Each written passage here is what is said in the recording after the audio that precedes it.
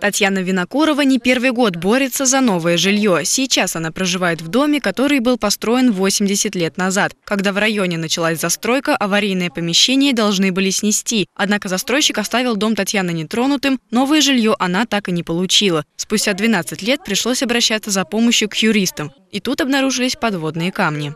Оказывается, что этот дом не учтен у нас в городе, и из-за этого мы лишены многих прав, Э, признание в том числе его аварийным, непригодным. И вот в разрезе вот этих вот законодательных коллизий наш вопрос становится практически неразрешимым.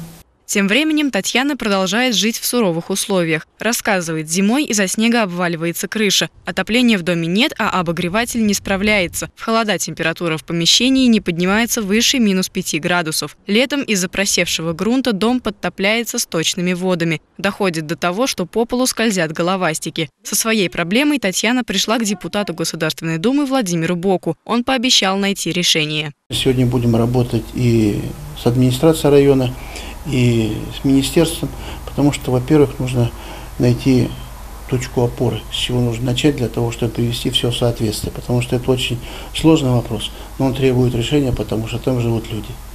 А в тех условиях, в которых они живут, так жить нельзя. По словам депутата, будет сделано все возможное, чтобы Татьяна получила жилье, в котором ей было бы комфортно жить. Анастасия Ерыгина, Дмитрий Мешканцов, Николай Сидоров. События.